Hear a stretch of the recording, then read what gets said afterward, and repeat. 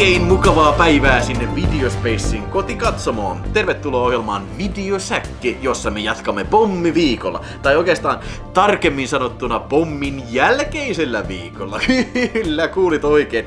Ää, viime jaksossa mä esittelen teille asfalttisoturin, eli tämmönen ydinsodan jälkeinen, tai puhutaan tästä vielä lisää. Mä haluan tarkentaa sitä edellistä jaksoa vielä vähän tämän osalta ydinsodan jälkeinen filmi. Ja tämän johdosta mä tein viime pari viikkoa sitten tein tota no, niin live-lähetyksen, missä käytiin tämän elokuvan klooneja jälkeläisiä läpitte sitten. Ja tässä lähetyksessä kävi tämmönen merkillinen tapaus, että mun katsojat alkoi sitten äänestää niin kuin parasta pommin jälkeistä filmiä tai Mad Maxin jalanjäljissä kuvaavaa, jatkuvaa filmiä. Toinen mitä äänestettiin oli tämä Asfalttisoturi, joka siis periaatteessa loi tämän genren. Ja sitten toinen, mitä äänestettiin, oli Dread. Eli tämä asfalttisoturi 75 eurolla voitettiin toiseksi parvan, äänestettiin toiseksi par- parhaimmaksi pommin jälkeiseksi filmiksi. Ja sitten voittajana oli tämä Dread, joita muun muassa Parta Paronia Film Collection äänesti sitten kaikkien aikojen parhaimmaksi pommin jälkeiseksi filmiksi ja Mad Max filmiksi. Mutta kuten YouTube-katsoja totuus elokuvasta varsin oivallisesti huomauttikin, että hänen on vaikea, tai hän haluaa kuulla hyvät perustelut siitä, miksi Dread on muka Mad Maxin jälkeläinen, niin mä oon ihan samaa mieltä, ei se kyllä ookaan. Ja itse asiassa tääkään itse asiassa niin kuin Mad Max asfalttisoturikaan, Road, Road Warrior, ei oikeastaan edes täytä sitä omaa genreään. Unohdin viime jaksossa sano, sanoa sen, mutta tämähän ei varsinaisesti missään vaiheessa tässä elokuvassa Mad Max 2 Road Warriorissa ei sanota tuota noin, että olisi käyty ydinsota. Tässä sanotaan, että Karl Urbani tässä sanotaan, sanoo tässä alkujuonnossa, että ää, on Megacity 1, missä hän asuu, missä asuu joku 100 000 miljoonaa ihmistä. Ja sitä ympäröi radioaktiivinen autiomaa. Eli ei sanota varsinaisesti, että se olisi ydinsodan jälkeen. Ydinsota olisi luonut tämän radioaktiivisen autiomaan. Mä oon lukenut pienempänä pentuna, oon lukenut niitä Jutkedred-sarjakuvia, mutta en millään muista, mitä siinä tapahtui. Joo, se oli hieno silloin kirjastoon mentiin lukemaan. Kysyttiin, että säädäänkö me kuunnella tätä likaa tai jotain, mitä nyt ikinä kuunneltiin. Ja sitten haettiin sitä Jutkedred-albumiksi, mentiin siihen kuunteluhuoneeseen sitten. Ai, että se oli hieno. Ö, hyviä tarinoita ne kyllä oli. Mä muistan semmoisen varsinkin Jutkedres-seikkailu, missä tota, oli vissi joku Megasityjen välinen ydinsota siinä sitten, ja ne lähetti ohjuksia, mutta Megasityssä oli tämmöinen kilpi, että se esti niin kuin ohjusten tippumisen sinne, mutta sitten ne olikin targetoinut sitä merta, ja sitten sieltä tuli semmoinen aalto, hyökyaalto, mikä murskasi ne kilvet, ja hirveästi kuoli ihmisiä ja kaikkea tämmöistä sitten. Ja tämä on jäänyt jotenkin päällimmäisenä mieleen, mutta niin kuin se, siihen rajoittuu mun sarjakuvien sarjakuvakokemus, enkä ole todellakaan varmaan niin kuin, mitä 30, 25 vuoteen ainakaan lukenut yhtäkään Jutkedret-sarjakuvaa. No eiköhän tässä nyt ole tarpeeksi jo hylisty kaikkea muuta epäoleellista. Nyt siis mennään itse asiaan, eli Parta Paronia Filmfin. Tässä on teille Dread-spesiaali. Eli minä katselin tämän tiistaina. Toisin kuin tätä, Tämä on nähnyt niin monta kertaa, tätä mun ei tarvitse katsoa tätä spesiaalijaksoa varten, mutta tämän katselin tiistaina ihan nimenomaan tätä äänestystulosta, äänestystuloksen in, inspiroimana. Ja oonhan mä tämän nähnyt kyllä, näin elokuvissa aikanaan se tuli. Mä en millään muista, se taisi olla joku spesiaalinäytös siis, niin kuin, siinä ei edes ollut suomenkielistä tekstiä. Oli täällä Tampereella tuo Plevnassa oli semmoinen yhteisnäytös, että nämä tuli kaksi samaan aikaan ensi siis tuli toi Looperi, missä on tämä Bruce Willis ja sitten toi Joseph Gordon-Levitt, niin, niin se tuli siinä ja sitten heti perään, se oli ihan tarkoituksella pistetty nämä kaksi niin kuin olikohan se sama lippu, millä pääsi, että, eli, eli Looperi ja sitten tuli tämä heti perään. Ja muistan, että se oli 3D-näytös, eli tämähän on kuvattu, tämä oli vuodelta äh, 2012 tämä elokuva, ja se on kuvattu 3D-nä, ja sen on ohjannut semmoinen äijä kuin Pete Travis. Äh, ei mitään kauhean merkittävää filmiä tämä Pete Travis on muuten ohjannut, paitsi tämä Dreddy, jotain TV-hommia. Sitten oli se joku, se Sean Penny juttu, se, se tota joku, mikä saakeli se oli, joku Hitman tai joku semmonen, ei kovin kummonen, mä oon sen kattonut kyllä. Mutta tämä Dreddi tosiaan tuli 3Dnä katsastettua ja, ja tota noin, niin sen jälkeen olen ostanut tämän kyseisen Blu-ray ja katsonut sen kerran ainakin ja nyt katsoin sen varmaan kolmannen tai neljännen kerran. Joo. Eli elokuvahan kertoo siitä, kun Karl Urbani on tosiaan tämä Yrmy Jutkedret, eli siis semmonen henkilö, joka on poliisi, paitsi poliisi, mutta myös pyöveli ja tuomari. Ei välttämättä siinä järjestyksessä, mutta elokuvahan alkaa varsin vauhdikkaalla takaa jo kohtauksella, missä Jutkedret ajaa pakettiautoa takaa ja sitten siinä seuraa tämmöinen ampumakohtaus ja siinä totta kai joukko roistoja saa surmansa siinä. Mutta varsinainen juoni käynnistyy siitä, kun on tämmöinen kortteliblokki, mikähän sen nimi nyt perhana unohdin, se oli joku Beach, Beach Street tai joku semmonen. Eli kortteliblokilla tarkoitetaan semmoista 200, 200 kerroksista hirveitä kerrostaloa. Ja niin kun, missä asuu, mitä siinä, 70 000 ihmistä yhdessä talossa, herra josta mikä talo. Siellä tapahtuu sitten semmoinen tapaus, että se on se maamaa, semmoinen muija rikollisjengin johtaja, joka sitten harrastaa tämmöistä väkivaltaista jengisotaa toisen jengin kanssa, niin ne on sitten tappaa, tappaa. Se alkaa siitä, että ne tappaa kolme kilpailevan jengin tyyppiä ja heittää ne ruumiit tylysti vaan sieltä korkeimman kerroksen katolta ja ne mätkähtää siihen. Ja sattumalta Jutke Dredd ottaa juuri tämän pokan. Ja sattumalta juuri tänä päivänä hänellä on mukanaan tämmönen rookie, eli kokelas, Olivia Turpin näyttämä Andersoni, josta on tulossa judge, jos hän pääsee kokeen läpi. Mutta eipä olisi voinutkaan kyllä niin kuin hankalampaa työ, ensimmäistä työpäivää tämä valita sitten tämä Andersoni lähteä juuri tähän pokaan Jutke Dreddin kanssa. Nimittäin käy niin, että, että tämä maamaa on häikeilemättä rikollinen, joka muuten valmistaa tämmöistä, mikä se oli, slow-mo-nimistä huumetta, mitä kun sä vetäiset tällä, niin on tällä, että aivot luulee, että aika hidastuu. Se valmistaa sitä huumetta ja hän ei halua jäädä missään nimessä kiinni, joten hän koska ne saa sen yhden epäily kiinni, tämä Jutke Dredd ja Jutke Andersson, niin tämä maamaa sulkee tämän rakennuksen ihan vitun tiiviiksi. Sieltä ei pääse kukaan ulos, eikä kukaan pääse sisälle, ja maamaa sanoo sitä intercomista, että joo, kaikki vitun Beach Palm Treen asukkaat, että niin nyt meidän pitää tappaa tämä Jutke kuka on tullut tänne häiritsemään meidän eloa, että jos te ette auta mua, mä tapan teidät ja teidän kaikki sukulaiset. Tämä on se raaka pelihenki. Tässä on niinku about koko filmin juoni pähkinän kuoressa, eli siis vähän niin kuin tämmönen nimenomaan Ride-tyylinen selviytymistarina. Eli Raidilla mä viittaan sitten tähän Ride Redemptioniin, eli siihen, siihen tota, minkäs maalainen, indoneesialainen action-filmi, joka sattui muuten pahaksi onneksi tulemaan samana vuonna ja muutama kuukausi aikaisemmin kuin tämä Jutke Dread, ja se oli varmaan tosi kova blow tälle tuo, tuotantoyhtiölle, koska Raidista tuli hirveän suosittu ympäri maailmaa, ja sitten mutta voi vittu, että meillä on melkein samanlainen juoni tässä. Eli siinäkin on samanlainen juoni, että joukko kyttiä joutuu jumiin sinne, tiedätkö, rikollisorganisoiti, soima, soim, soim, rikollisorganisaation ää, omistamaan ää, kerrostaloasuntoon sitten. No, Jutke Dredd ja Jutke Anderson kyllä taistelee tiensä läpi jo kymmenien rikollista ja siitä voi niinku voi olettaa, että tiukkaa toimintaa on luvassa, kyllä. Siis tämähän on erittäin kovan R-ratingin filmi, toisin kuin Sylvester Stallonein äh, floppan, flopannut Jutke Dredd-elokuva, joka ilmestyi sitten, oliko se 94 95 tai jotain semmoista. Sehän oli yleisesti tuomittu niin Jutke Dredd-fanien piireissä ihan paskaksi ja yleisesti Sylvester Stallone fanien piirissä ihan paskaksi, mitä mä oon sitä mieltä, niin aika paska filmi se on. Ja se myös näyttelee Rob Schneider, tämmöistä hauskaa koomista sidekickia. Ja siis Jutke Dredd, jos mikä, ei tarvitse koomista sidekickia. Mun mielestä sen Stallonen filmissä ehkä parasta oli se hieno robotti, mitä, varten, mitä tätä filmiä varten oli rakennettu, mikä oli ihan animatronics-robotti, mutta se siitä. Tämä on siis todellakin, tämä on aikuisten filmi, tämä ei mikään PG-13-filmi, niin kuin Stallonen filmi oli. Tässä niin kuin oikeasti lentää veri, aivomössöt, kaikki hidastet, oikein mehostellaan väkivallalla.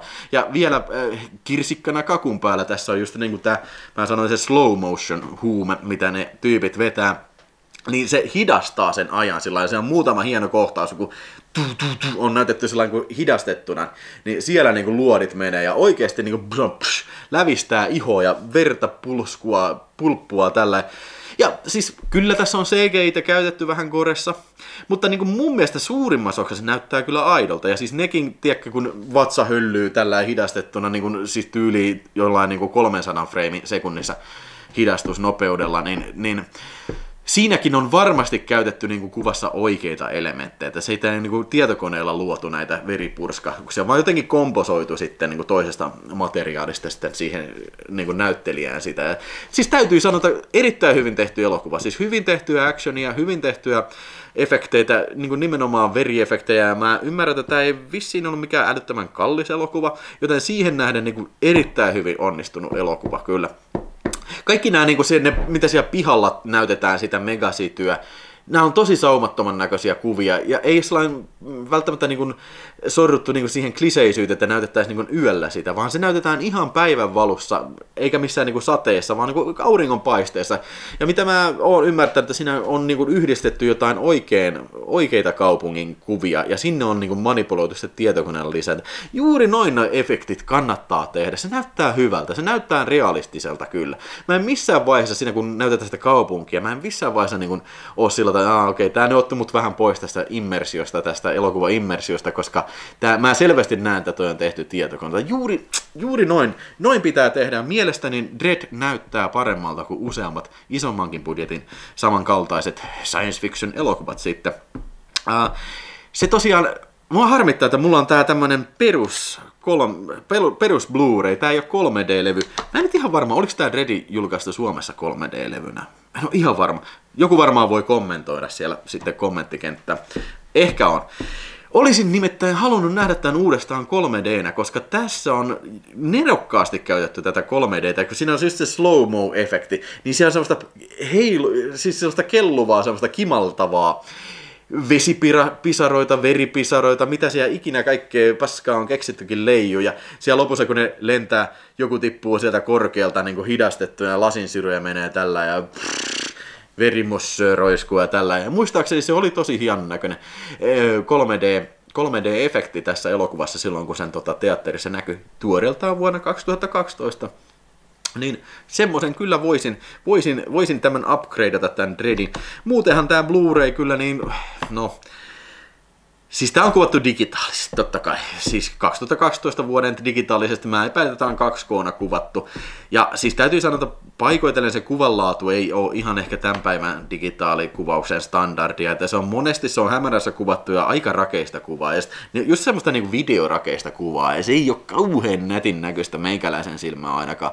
Mutta kuin, ei, mä en oikein usko, että edes niin kuin mikään 4K, 4K-versio edes tulee niin kuin parantaa sitä kyllä kauheasti yhtään mitkään, mutta niin kuin, it is what it is. Ei se nyt, niinku, ei se nyt mikään dealbreakeri kyllä ole, ja varsinkin jos sen katsoisi 3D, niin siihen ei varmaan kiinnittäisi läheskään niin paljon huomioon. Uh, Karl Urban, niin siis on oikein osuva roolivalinta tähän Jutke Dreddiin, ja sehän on semmoinen rooli, että ei se ole varsinaisesti mikään, tiedätkö, niin kuin primadonna, tiedätkö, ei se vedä mitään hirveän mon- vaikuttavia monologeja, vaan se on tyly luonnonvoima. Vähän niin kuin just joku Snake Pilsner tai, tai Mad Max, vettu tää äijä tässä, niin se on vähän sen kaltainen hahmo, se on yrmyhahmo, se on niin kuin, ei välttämättä filmin päähahmo, vaan selvästi ihan tässäkin elokuvassa se on se, niin kuin se Anderson, se on niin kuin edustaa katsojaa, sen kautta tullaan tähän Jutken julmaan maailmaan sitten, että että se on, se on niin mun mielestä huomioitu hyvin. Ja ymmärtääkseni tämä on hyvin taltioi sarjakuvan hengen.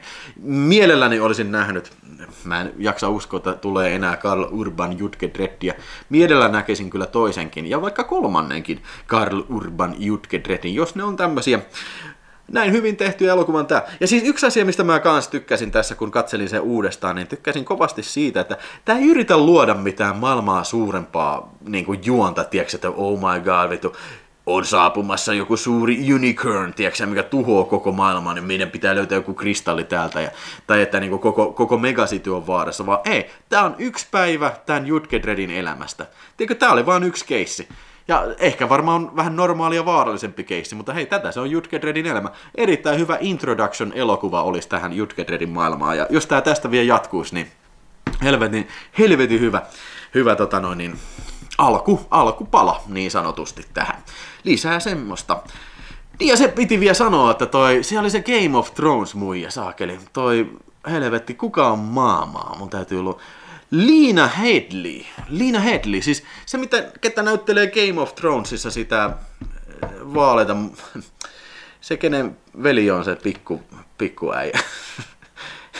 Cersei, Xerxei Ra- Lannister, Cersei Lannister, ja tässä maamaa. Hirveä kyllä portto, niin kuin, ja siis kova muija, erittäin kova muija kyllä, ja hyvin, vetä, hyvin osaa vetää ja siis tosi erilaisen näköiseksi saatu tähän. Että mä olin hetki, siis mä en edes tajunnut, että hei vittu, tää on tää Game of Thrones muija saakeli, se on, se on taas täällä tekemässä ilkeyksiä. Niin, mutta niin oli sieltä, hei vittu, ei mitään, siis tosi kova roolisuoritus ja tykkäsin vielä yhtään sen enempää spoilaamatta, että jos se, siellä paljon ihmisiä, jotka ei nähnyt tätä, niin mun mielestä erittäin tyly lopetus kyllä, niin kuin, kymmenen pistettä ja papukaija merkki, eli, eli, eli noin sitä pitääkin tehdä, ei mitään Tiedätkö, te tiedätte aina sen kohtauksen, kun on, on filmissä, on pahis ja se on voitettu, se makaa sillä, eh, okei, okay, go ahead, shoot me, you punk, you can't do it because you're cop.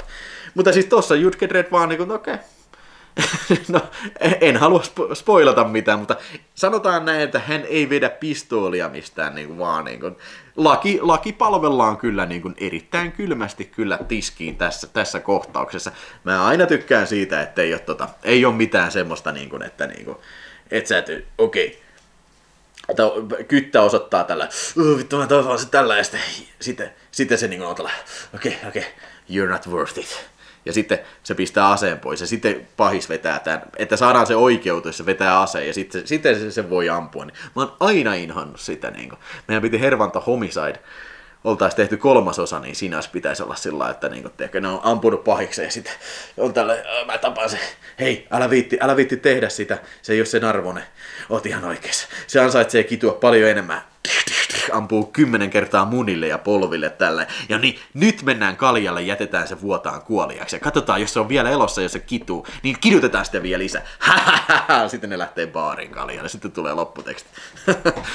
Semmoisesta, se, semmoinen olisi juuri sopiva, niin kuin esimerkiksi Jutke Dreddiinkin. Mutta ei se ihan niin kovaa, mutta kyllä tässä on aika kova jo. Mä antaisin kyllä niin kuin ilman muuta Dreadille neljä tähtiä kyllä. Hyvää väkivaltaista viihdettä nimenomaan. Jos et ole nähnyt sitä, niin lämpimästi voin kyllä suositella, varsinkin jos tykkäät futuristisista, dystooppisista toimintaelokuvista. Joo.